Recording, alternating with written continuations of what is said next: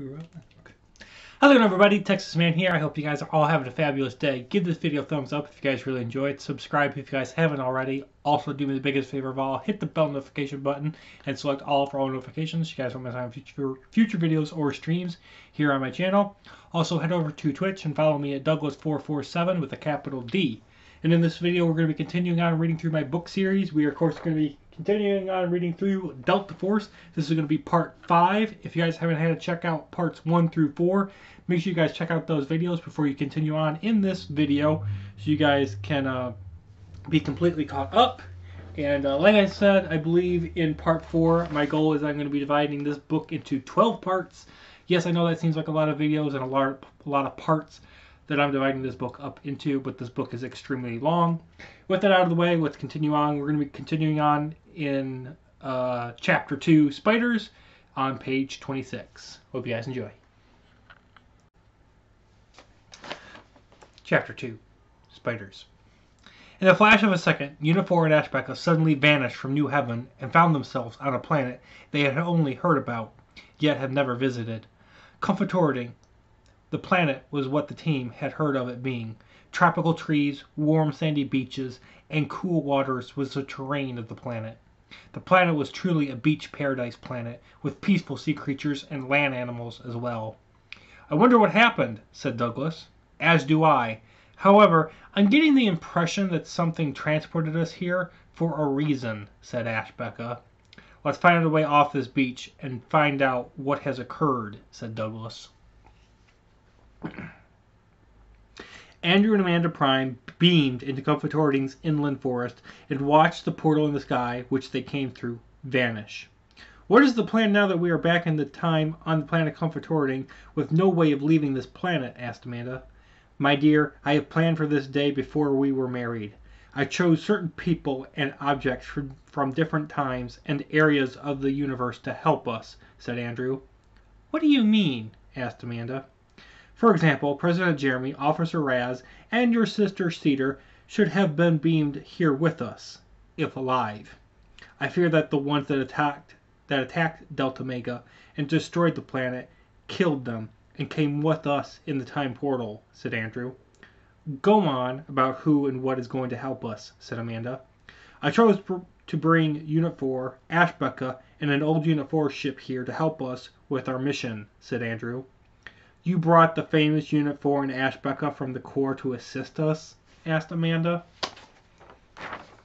Yes, and we need to find them quickly, along with the time machine and your super weapon, said Andrew. A bright blue light flashed, and Nikolai and his entire army suddenly looked around to see themselves on the planet Tasker 12, with no one else alive, living in the city. What just occurred? asked Nathan. I'm not completely sure at the moment, However, I think we have traveled back in time, before Tasker 12 was inhabited by humans," replied Nikolai. "My lord, all of our ships and fighters successfully came through the strange portal with us," said General Evan Piper. "So I still have my 5,000 demon army to locate the super weapon. And now the time machine as well, my general?" asked Nikolai. "Yes, my lord," answered the human general. "Dad!" yelled Nathan. Nikolai and Evan looked to looked at Nathan turned, I'm sorry, Nikolai and Evan turned to look at Nathan, turned from the age of 11 to 21. What is wrong with me? asked Nathan. Nothing is wrong with my son. This rapid change in age could be the result of your ability to understand and have greater powers than me faster, replied Nikolai. With what his father just spoke, Nathan realized Nikolai basically said he was stronger than his father. While Andrew and Amanda walked closer towards the five lightsaber-armed Corps members, Unit 4 and Ashbeka also began walking inland. Within a few minutes the primes and the members of the Corps were face to face with each other. "Who are you, and what do you want?" asked Douglas. "I am Andrew, and this is my wife Amanda," replied Andrew. "Whose side are you on, and what sector and planet are you from?" asked Douglas. "We are not on a side in the universe. We're from Sector 2, Uncharted Space, and planet Delta Mega," replied Amanda. Unit 4 and Ash realized who they were talking to and were in shock to see Primes on Comfortoriding. You probably want to know who the five of us are with lightsabers attached to our belts, said Ash. Yes, I would. However, I already know who you five are, answered Andrew. The team of five wondered if Andrew really knew who they were and tested the two primes' knowledge with one statement. If what you say is true, then prove it, said Douglas. Well, you must be Ashbeka with the blue lightsaber and the look of a 4,439 year old man. You also have a blue lightsaber and not and are not as old as Ash, so you must be Dave Armstrong. You're a female with a purple lightsaber, making you Deborah Armstrong. You must be Devon Armstrong with the famous golden lightsaber, which was found on the planet Thin Line to defeat Satan for the second time. Lastly, you must be Douglas Armstrong with the green lightsaber and the mouth to be the leader of Unit 4 and commander of this little squad, said Andrew. Unit 4 and Ash were stunned at the information Andrew had on the five people standing in front of him. Since you know so much about us, can you explain how we traveled from New Heaven to Comforting and through an asteroid belt also in less than one second? asked Douglas. I can, because I made it happen, replied Andrew. What are you talking about? asked Evan. After my government received a reply back from the Corps stating the request sent had become official terms between the Corps and the Primes, my wife and I planned something no one could have ever imagined. I invented a time machine with a portal, while Amanda constructed a super weapon, said Andrew. What was the purpose in these devices? asked Dave. So I could choose selected people and objects to travel through time to prevent the annihilation of Delta Mega, answered Andrew. Why would you do something that defies your government's rules? asked Deborah. I built a time machine to rewrite history, so President Jeremy would not send the messages to God to no longer be part of the Corps, and so those who destroyed Delta Mega would never think about conquering the planet, said Andrew. Why the construction of the superweapon, then? asked Dave. I built it to kill those who destroyed our home planet, Delta Mega, answered Amanda. So where are the two devices? asked Douglas. That is what I've been trying to find out for the past half an hour replied Andrew. If we don't locate the devices, our mission of changing the future won't matter if any of us are still in the same time frame when the year turns 4440, said Andrew. What will happen if we don't return to 4440 before completing the mission? asked Ash. The timeline will continue onwards after I activate the time machine, causing the universe to remain in a loop from 3,350 to 4,440, replied Andrew. How do you know what year it is? asked Evan. Because I set the time machine for everyone and everything to travel to that year, replied Andrew. Why? What is so special about 3,350? asked Dave. It is a few years after the second defeat of Satan, and the entire Corps won't be able to help us because they are observing the creation of Delta Mega in Sector 2, replied Andrew. Nice timing, commented Deborah. What happens now? asked Douglas. We will leave here now and find an object to leave this planet, said Andrew. May Unit 4 and I come with you and form a new team? asked Ash. Yes, you may. However, what would we, the seven of us, be known as during our mission? replied Andrew. I was thinking about something like Delta Force, replied Ash. Not bad at all for a team of seven people searching out the universe to save it and to save it for a short time. I mean, it's not like anyone's going to even remember us like Unit 4, said Dave in a sarcastic tone. I'm not sure what that means, Dad. However, I think it is a great name for us, replied Devon. As of this day, Douglas Dave, Devon, and Deborah Armstrong, Ashbeka, Andrew, and Amanda Prime will be known as Delta Force. Our mission is simple find a time machine and a super weapon while alerting while altering the events of the future. Let us hope that those who destroyed Delta Mega do not attempt to hunt us down while we complete the mission, said Douglas. The event that Andrew never believed could or would ever occur occurred anyway. He and his wife were part of a team with the famous Unit 4 and Ashbeka, known as Delta Force. So who's going to be the leader of Delta Force? asked Ash. After minutes of voting, a decision was made of who was to be the team's leader. The result was the following. Douglas would be the first in command, since he was Unit 4's leader, and second commander of the entire Corps Army, under God. Andrew would be in second command, since he knew about the time machine and super weapon. Ashbeka would be the third in command because of his past life from battling so many evil villains. Finally, Devon would be the fourth leader if ever needed, since he was the one that killed Satan during the last war against evil. Douglas, we need to locate the object I spoke of earlier so we can leave this planet immediately, said Andrew. Lead the way then, said Douglas. Delta Force left their current position and headed into the forest dark areas to locate an object Andrew transported through the portal. My lord, all of our troops are on board ships, like us, and we have learned some unbelievable news, said General Evan Piper. What is the situation? said, asked Nikolai. The blast from the portal on the planet Delta Mega seems to have transported us back in time to the year 3350, said the human general. Really? asked Nathan. Why would the primes travel back in time? asked Nikolai. Perhaps to change the events of the future, such as the destruction of Delta Mega, said the general. This may work in our favor, said Nikolai. How so, Dad? asked Nathan. The Corps does have control of the planet Earth 2. However, the Corps' main fleet is located in Sector 2, where New Heaven and New Earth are located, said Nikolai. What is your point? asked Nathan. Earth 2 is no longer the Corps' main stronghold that means hardly anything is going to be protecting it, said Nikolai. Oh, I get it now. You want to assault the human home world, said Nathan. That is correct, my son, said Nikolai. All armed ships, this is General Evan Piper.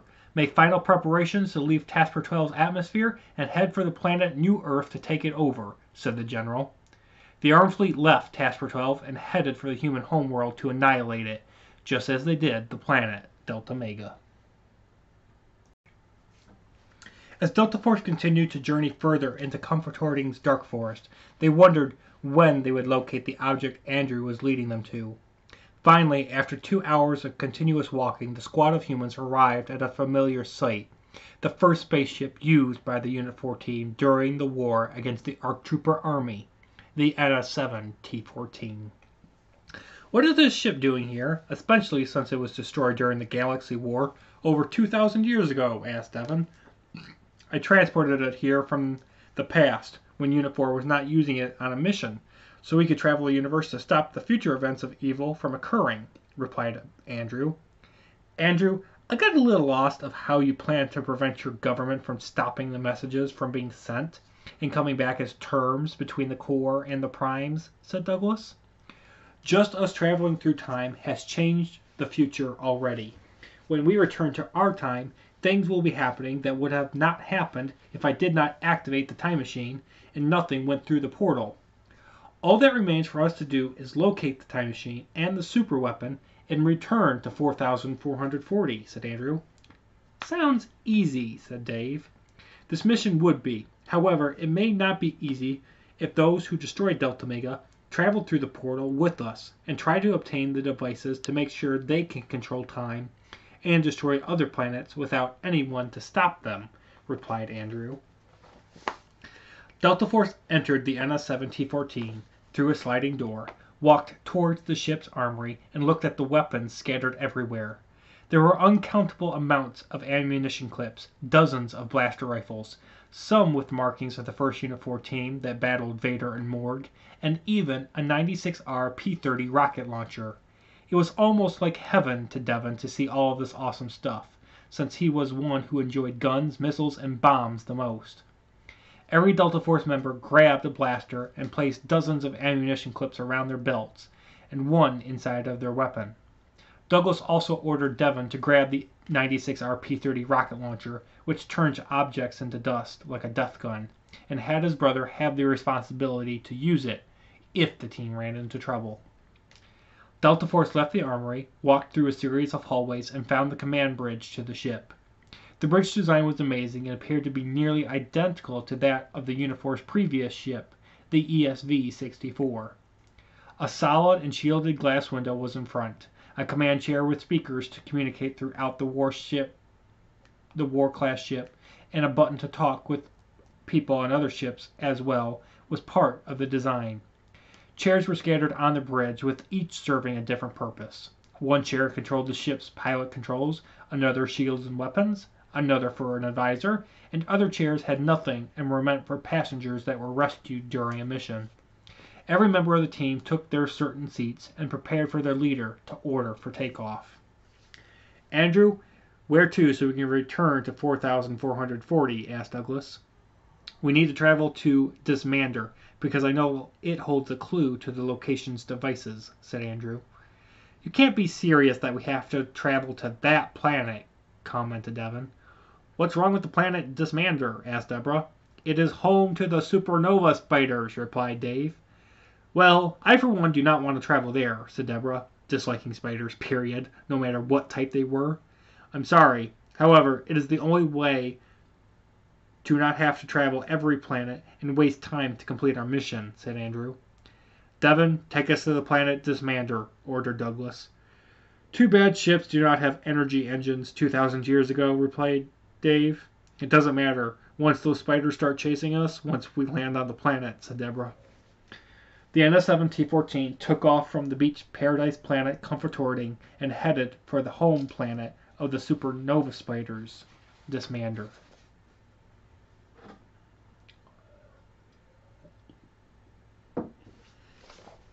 My lord, our deep space deep deep space My lord, Nikolai, our deep space radar has detected a core ship called the NS-17 headed for the planet Dismander, said General Evan Piper.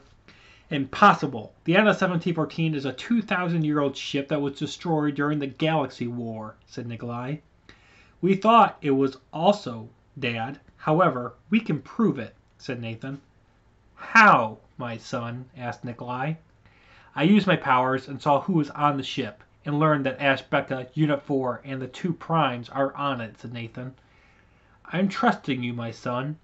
General, have the fleet change course from attacking Earth 2 for Dismander. I would rather spend this opportunity killing Unifor 4 and Ashbeka for all the problems they have caused and preventing evil from ruling the universe, said Nikolai. The armed fleet changed their course and headed for Dismander. Soon the two forces would clash for the first time, and it would not end well. "We have arrived at Dismander," said Devon. "All right, now what do we do?" asked Douglas. "Just land this ship and everything will unfold as it needs to," replied Andrew. Devon landed the NS-17 on the ice rock, gray mountains, and caves-like planet. Delta Force left the command bridge, walked outside of the ship onto the icy ground, while all the members wondering while all the members wondered where the spiders were hiding. Everyone stay alert and have your blaster rifles prepared to blast any spiders that attempt to attack us, said Douglas. The team traveled away from the NS-17 and towards a mountain range nearby with mountains and caves, which were all frozen and colored dark blue. So, Andrew, what is this clue we're looking for? asked Douglas. We're not looking for a clue, but a person with a clue to the devices, replied Andrew. Who?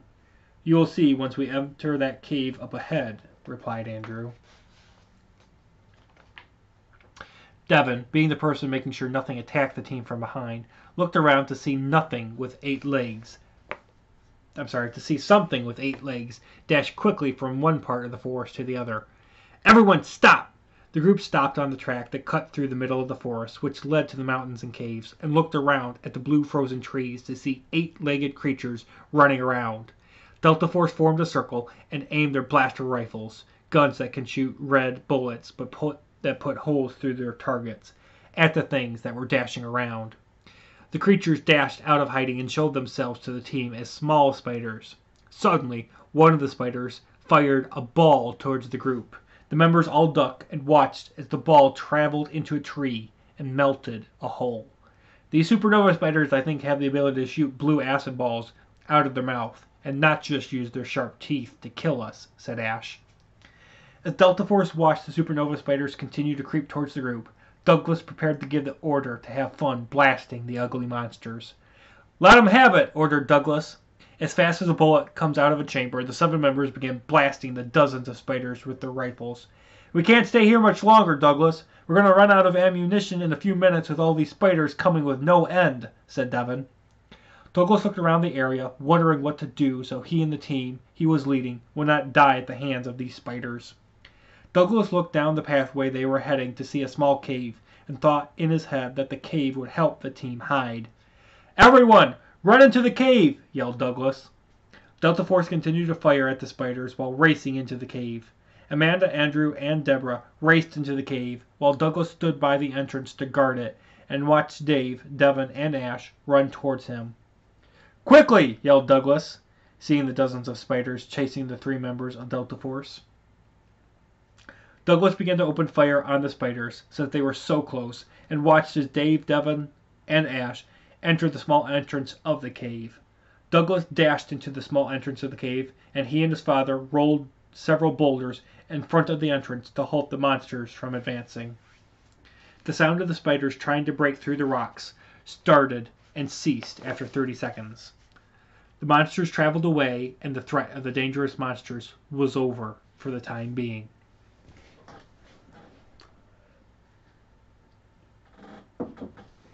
Sure hope the NS-7T14 is still in one piece when we get back to it, said Deborah. Let's find this clue and get off this rock, said Douglas, looking directly at Andrew.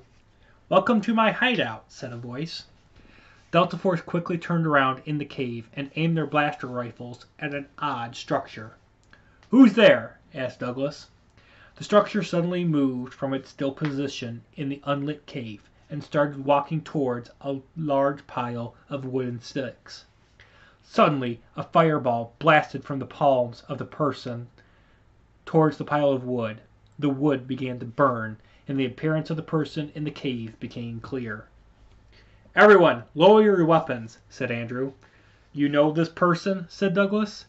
Not really well, yet I brought him here from the future to help us, said Andrew. Douglas nodded his head, and Delta Force lowered and put away their weapons.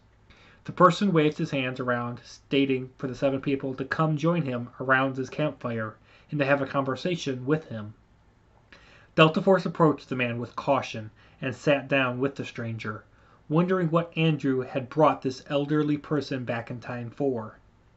Hello, my name uh, my my name uh, Hello, my name is Toa Ray Williams, brother of Satan and uncle of Nikolai Sith, said the odd man. We are Delta Force, said Douglas, before everyone introduced themselves to Ray. Thank you for sending me back in time, Andrew Prime. Because of you, I will have an easier time obtaining the ruby needed for the chosen one, said Ray. What is this ruby, and who is the chosen one? asked Ash. One day you'll know, my friend. In fact, all of you will, said Ray. Ray, we can't stay here in your hideout. We need any clues you may have on the location of a time machine and super weapon, said Andrew. Clues? asked Ray. Yes, said Douglas, slowly, as if Andrew was speaking in another language. I know where the location of every object is at in this universe. Mine's no man's land, of course, said Ray. Where? asked Andrew. The location of your devices you seek is on the planet Cassando, inside of a supercomputer, answered Ray. Thank you so much for the information, Ray. However, we can't stay any longer, for we must complete our mission fast, said Douglas. I will lead you back to your ship, the NS-7T-14, Delta Force, said Ray. The team was in total shock that Ray knew the name of their ship and the name of their team without anyone informing them. Dad, the fleet has arrived at planet Dismander, said Nathan. Good work, my son, said Nikolai. What would you like me to do, my lord? said General Evan Piper. Prepare another ship for me, my son, and thirty demons to board it to land on Dismander. While we are away, you are in charge of the fleet, General Evan. Make sure nothing leaves this planet alive, said Nikolai. Within ten minutes, Nikolai Nathan and thirty demons were on an armed ship with death guns and lightsabers preparing to land on the planet Dismander. Delta Force grabbed hold of Ray's right arm and was suddenly teleported out of the cave and only four minutes away from the NS-7 T-14. How did you light up the wood in the cave, and how did you teleport us here? asked Ash. I am a Toa and the last of my kind. I have the power to control fire and water and ability to teleport anywhere, replied Ray. Suddenly the sound of supernova spiders surrounding the group of eight was heard by them all. Run as fast as a cheetah, said Douglas. Delta Force and Ray ran towards the ship only to see something unwanted land nearby a ship with arm markings all over it. Demons, kill everyone you see except for the two primes. Without the primes alive, we will not be able to locate the time machine and super weapon quickly, said Nikolai. The 30 demons loaded up their death guns. Nikolai turned on his two red lightsabers, and Nathan turned on his red lightsaber. The group of 32 armed troops dashed out of the armed ship and raced towards and raced towards the noise of the supernova spiders and the sight of the NS-7 T-14. The spiders continued to chase the group after the eh, the spiders continued to chase after the group of core members and finally arrived at the NS-7 T-14. Douglas, get your team into that ship and get to Cassando, said Ray. What about you and the spiders? asked Deborah in a mother tone. I will hold them off and those evil people that landed that will be here soon with my purple lightsaber, said Ray. Delta Force boarded the NS-7 T-14 and Ray activated his purple lightsaber to battle the incoming supernova spiders. Devon, get us out of here, ordered Douglas. The NS-7 T-14 left the planet Dismander only to face another threat, an armed fleet. Devon, activate energy engines to travel to Cassando before the fleet attacks us, said Douglas. Devon pressed several buttons at his station on the command bridge, and within seven seconds the NS-7 T-14 disappeared from sight and was headed for Cassando. I just realized something? I just created a plot hole in this book. I just realized that by reading this. In, in this paragraph, the NS-7 T-14 has energy engines so they can travel through hyperspace. Um, I'm pretty sure like three, four pages ago, Devon commented on the fact that the NS1714 is 2,000 years old and doesn't have energy engines. I just realized I created a plot hole in my book. That's bad. That's really, really bad. oh boy. I'm not perfect. Good thing this won't be made into a movie because that would be the biggest plot hole ever. Oh, okay. Uh, continuing on. I just realized that. After realizing a plot hole. And guess what? I'm not fixing it because it's funny.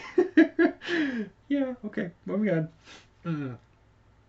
Toa Ray Williams watched as the army of 50 supernova spiders approached his position, and the group of 32 armed troops also coming towards him.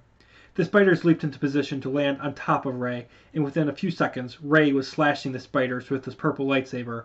Left and right, up and down, sideways, and more, Ray did, killing every single spider that tried to place its ugly fangs into his body. As Ray continued to battle the spiders, Nikolai, Nith- Nikolai Nathan and the 30 demons arrived at his position and watched the man battle for his life.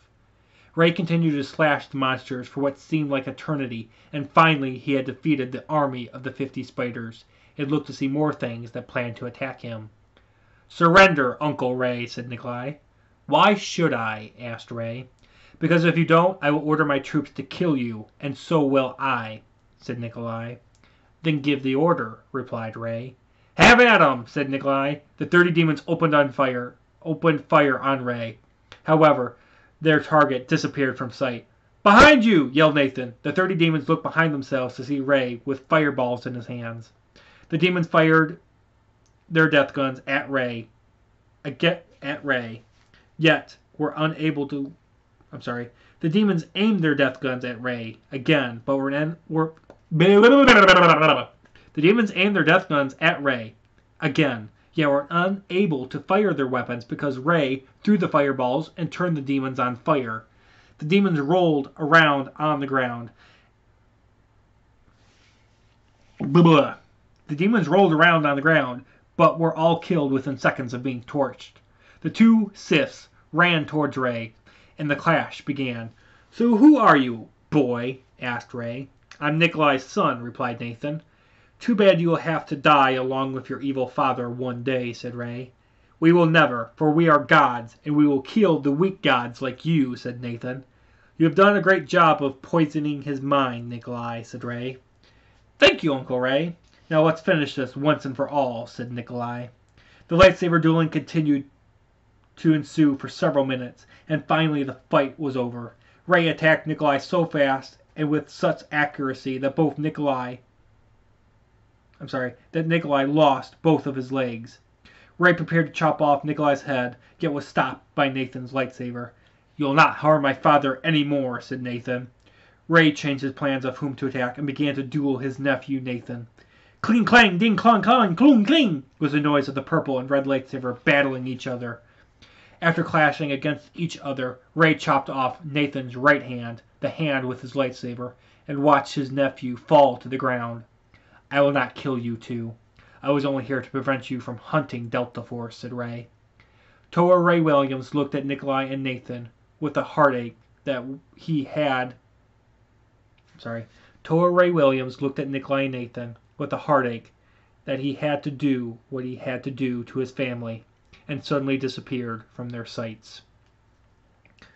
Nikolai and Nathan Sith watched as several armed ships landed around their position and saw General Evan Piper approach their position. Do not worry, my lord, I will help you and your son fast, said the general. Nikolai and Nathan were both placed on floating beds, loaded into the leader's armed ship, and into the medical bay. After hours of surgery, Nikolai's legs and Nathan's arm were replaced with machines. Nikolai's general entered the medical bay and awaited his next order. General Evan Piper, I am ordering you hunt down Delta Force with no end. I want you to find out where they are headed and chase them down to the death, said Nikolai, recovering from the duel, duel with Toa Ray Williams. Toa Ray Williams finished his teleportation from the planet Dismander to the planet Troy Idad. Ray watched as the core ship crashed into the planet and the humans inside be eaten by T-Rexes and Raptors. Once the monsters left the smashed and ripped into ship, Ray traveled inside of the vessel and looked to see the name of the ship on several wooden boxes the Red Moth. Ray opened a box with a ruby labeling and removed a bright ruby. Ray placed a piece of paper inside of the ship in a certain area and teleported to the planet Thin Line. The note Toa Ray Williams left behind was the following For those seeking a ruby, come to Thin Line in Sector 2 to claim it. The caller, Toa. And that's going to do it for me, guys. I'm going to end this video here. Thank you guys so much for watching. I will uh, be back with the next part, and we'll be picking up at Chapter 3, March of the Droids, on page 40. You guys all have an amazing day.